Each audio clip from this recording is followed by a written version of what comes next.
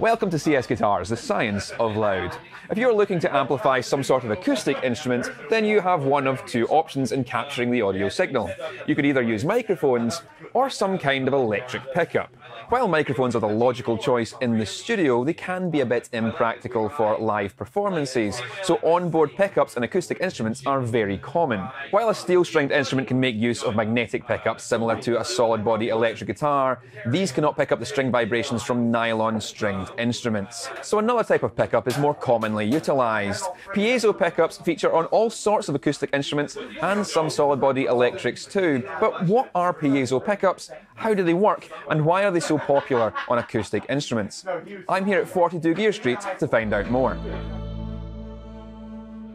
Let me briefly catch you up to speed before we get into the technical details in case you've never heard of a piezo pickup before. Piezo pickups make physical contact with the guitar, typically under the bridge or attached to some other vibrating surface. They directly change the vibrations of the strings and body into an electric signal. This differs from magnetic pickups, which sense the steel core of strings passing through the magnetic field of the pickup, perturbing the flux and inducing a signal in the coil. Since nylon strings lack steel cores, magnetic pickups can't sense those strings and direct contact piezo pickups are a more convenient way to go. Piezo pickups are named after the scientific principle on which they operate, the piezoelectric effect. I thought I'd start off here by asking some of the YouTubers if they know anything about the physics of the piezoelectric effect. I have no idea. Can I take a guess? All I know is that something about the the, the pressure. Is this the piezoelectric effect?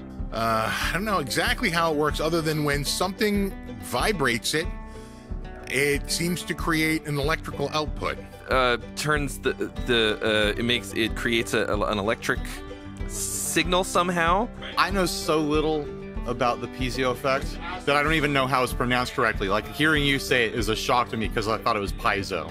And you, I think you were trying to explain to me it's a it's a changing of something that happens in there. It's like it flips and flops and flops and flips. Ceramicy, ceramicy thing, and then it's pushy pushy, and then something with electricy, electricy. It's a contact microphone, so it somehow turns vibration into electrical current. Well, piezoelectricity is a phenomenon where mechanical energy is applied to a certain crystalline substance and electricity is generated out of that as some kind of a weird effect and whatnot. We can exploit that uh, with guitars when you apply string energy to said crystalline substance. I'm going to take a wild guess that's what a piezo pickup is, and that's how you get your sound. So it's kind of neat, and they use it in a whole, a whole bunch of different things. And um, that's about all I know over the briefly stuff I scanned on Wikipedia real quick before I came on this. This is a really long way of saying that I don't know shit about it, and I'm sorry for wasting your time. The word piezo comes from the Greek, meaning to squeeze. Materials which exhibit the piezoelectric effect are capable of generating voltage when a mechanical stress is applied to them. In 1880, scientists discovered that some naturally occurring crystals, like quartz, are capable of generating an electric charge when percussive pressure is applied. So while it's quite impossible to squeeze blood from a stone, it's well within our capabilities to squeeze electricity from one. Two world wars in the first half of the 20th century boosted research and development of piezoelectric devices, with man made materials being created to maximise the effect. These piezoelectric transducers are an example of this development. Within this disc is a man-made piezoelectric medium. When I hook these lead wires up to my voltmeter and squeeze the transducer, you can see the voltage reading change. The harder I squeeze, the larger the voltage that is generated. By securing one of these transducers under the bridge saddles of a guitar and strumming the strings, we can see the voltage reading change on the meter as the vibrations penetrate the piezo transducer. We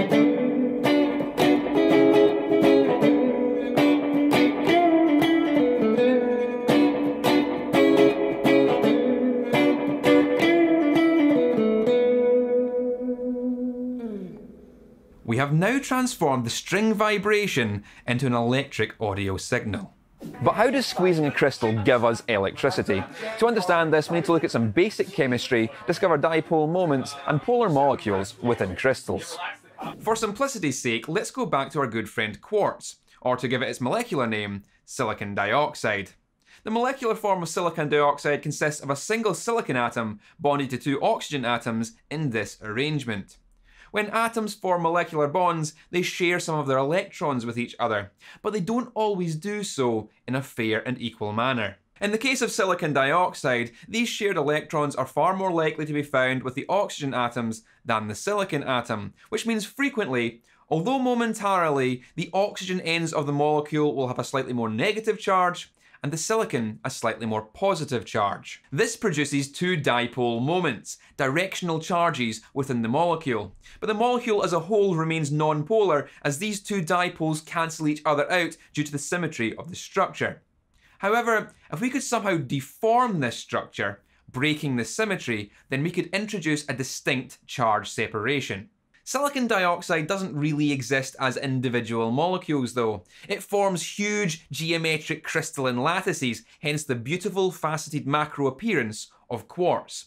When quartz crystals form, all of these dipoles arrange themselves symmetrically in different directions, cancelling each other out and giving the crystal as a whole no distinct charge direction. However, when mechanical stresses are applied to the crystal, in other words, when we squeeze it, it forces the crystal structure to deform, causing the dipoles to orient away from their equilibrium position, resulting in a charge imbalance in the crystal. The more we squeeze, the more prominent the effect becomes. Now the crystal as a whole has a charge direction. One side is more negatively charged and the other more positively charged. This creates a potential difference between the two faces of the crystal. We have created a voltage by exploiting dipole geometry in a normally nonpolar substance. Interestingly, the inverse is also true. By applying a voltage to a quartz crystal, you can cause it to flex and vibrate by very tiny amounts. In fact, it does so with such incredible regularity that quartz is used inside mechanical clock and watch mechanisms to keep the hands rhythmically ticking. Okay, so what does all this have to do with guitars?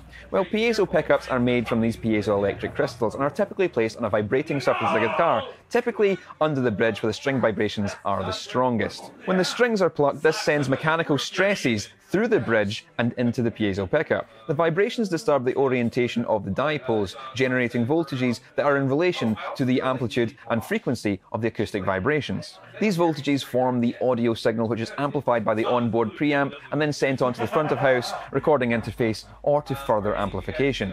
Here at 42 Gear Street, I met up with Julian from Ortega Guitars to discuss piezo pickups and the challenges in amplifying nylon stringed instruments the one thing is, uh, as you already mentioned, um, there are no C strings on it. So you can't use magnets. So for this kind of uh, guitar, um, we use um, piezos because um, they're not working like, like a magnet. They work with the piezo electric effect. The impulse of the strings is uh, translated into electricity, and the electricity we can put through an amp and amplify it. Right, that's everything in a nutshell, I would say. It's the most common way to um, get uh, a guitar like this um, amplified. Um, this system is kind of neat because um, uh, normally a piezo sound uh, sounds a little bit sterile, I would say. There, I, I guess there are guitarists out there who uh, don't like piezo sounds. They prefer microphone sounds, and that's uh, why this one has also a microphone in it. So you can blend those two. You can either um, use the piezo only, you can use the mic only, or you can use them together. Um, yeah, so in this case, you can have the best of both worlds, right? Um, the problem with a microphone is uh, you get feedback if you turn it up too much, even if you use it with an amp, as we do. Um, um at one point, there's too much feedback, so you can dial out um, the, um, the microphone and use the piezo instead, so to get rid of the feedback. This makes piezo pickups the more controllable option for on-stage performance, not only helping to silence unwanted feedback, but also allowing the player to free themselves from the tyranny of static microphones. Most of our artists use um, our guitars on stage, right? And they move around, and uh, they can't have a fixed microphone. And even if you move around and uh, hit the corpus of the guitar, um, the microphone would be um, uh, would uh, take up this noise through the amp. With a piezo, it's not that strong, so you have more flexibility moving on stage and rocking out, and the sound guy can take care of the signal using a preamp or yeah different different kind of uh, sound sculpting methods. Yeah. Speaking of preamps, the piezo element itself isn't enough to generate a usable signal, so it's used in conjunction with onboard active preamp systems. These come in a variety of different qualities and feature levels depending on what your needs are with the instrument. Ortega offers a few preamp systems of their own design as well as some more advanced Fishman units. We have um, more simple um, setups like our own uh, designed uh, Ortega Magus Pro. Um, um, this one has uh, a three band EQ, of course. It has a built-in tuner. That's pretty neat. Uh, phase switch. Um, but for this, you, uh, as you can see, you would have to cut a little bit of wood out of your guitar. Um, I always recommend if you are not a luthier or not very handy with woodworking, um, to go to a guitar shop and have it done there. Um, this one is a little bit easier to install because it's just um, the output of the guitar, right, and the little um, volume and um, tone wheel. Yeah. Yeah, so stick that to the inside of Yeah. the sound hole, right? Yeah, yeah, yeah. And this is much easier to install than than a preamp like this. And in our Spanish guitars, like the Sinline, um, we have um, Fishman Classical Blend um, preamps, and these come with the microphone. And the installation of these is a, bit, a little bit more complicated because of the microphone. Because the, the, the placement of the microphone is very important. If you place it wrong in the in inside the body, you will have a Strange sounding- and bad sounds, right? Yeah, yeah, yeah. Or too much feedback also. Yeah. So if you if you're maybe getting too much feedback from your um, microphone in your guitar, maybe the placement of the microphone is also not correct. Yeah. It's not only the microphone placement that's critical. Ensuring the piezo is in the correct place is vital to picking up string vibrations effectively. So, where's the piezo element on this guitar? It's under the bridge. So straight underneath the Yeah. the bridge here. Yeah. There's a ferro, and uh, there uh, in this ferro there lies um, this tube, this this piezo tube. Yeah. And that contains all our piezoelectric crystals. Yeah. And we'll push our voltage. Pretty simple. Nothing nothing special, but yeah. If you want if you're searching for your piezo, it's down there. Of course, classical purists don't like the idea of any electronic equipment in their guitars, especially not piezo pickups, as they sit between the bridge and the guitar top. Their argument is that this inhibits the vibrational transfer and top resonance suffers as a result. I can imagine if you're if you're in a studio and if you're a classical player and you want to have a full the full sound of your instrument, you're not doing you're not adding anything to it because everything you add um, to your instrument will change a little bit. Um, but if you're on the stage and if you're play, playing a guitar like this with a cutaway and uh, with a preamp built in it, um, the, the piezo is the this tube is the last thing that adds any strange frequencies to to the to the body or to the wood. Yeah, the only thing is you have to um, if you install uh, install an piezo into your bridge, you have to to make it correctly so that um, every string sounds has the same volume. Because if it uh, lies not horizontal in the in the ferro, Oh, absolutely. If it's not in line, you're not getting equal pressure across across the whole thing. yeah, that's it's that's very important. Yeah. Of course, piezo technology isn't just constrained to guitars. Ortega use piezos in all of their different instruments, including their stomp boxes. And uh, we use uh, a piezo system also in our um, analog uh, percussion stomp box. Simple piezo. Another advantage of the piezo it doesn't need any any power in this case, so you don't have to power the pedal. You're just using the piezoelectric effect. There's there's some electricity going on, but you don't have to. You don't insert any yourself. Self, yeah, yeah, and that's pretty handy. So um, less cables, uh, less um, less power supplies on the ground, makes it easier to play.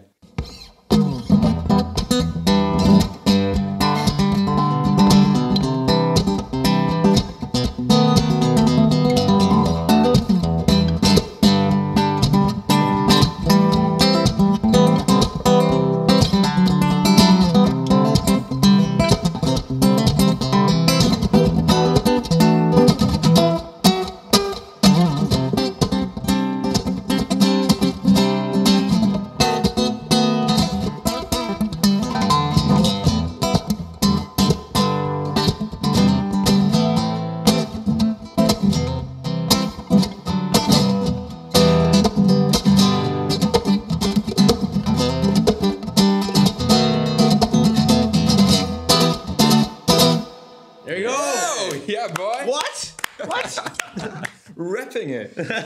That talented gentleman is Jay Leonard J, fellow YouTuber and very stylish performer who kindly agreed to demonstrate the piezo microphone blend on this nylon string guitar. With just the piezo.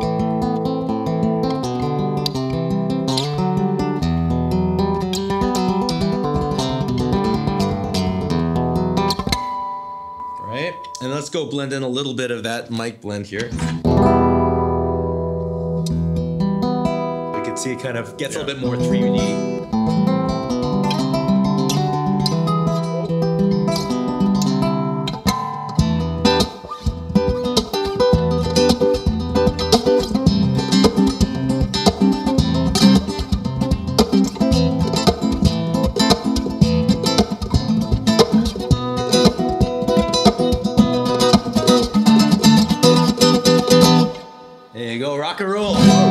Can see, Jay is obviously a performer and takes to the stage far more often than I do, so I wanted to get his opinion on piezo pickups and see if these are something that he would use while playing live. One thing you don't want to do when you're using piezo pickup is expect it's going to sound like your instrument, and uh, but that you you have to use them because most of the pickups that do sound super super natural and super super clean, you can't really use them when you're dealing with lots and lots of stage volume, especially if you're playing like in a rock band or something like that, and they're really really powerful, pushing a lot of energy. So it's a it's a very useful tool, and you have to kind of learn how to dial them in uh, a specific way to make them sound really, really good. But it's never going to sound like the real instrument. But uh, sometimes it actually sounds a little bit better because they have such presence and such attack that it does help you get hurt a little bit better.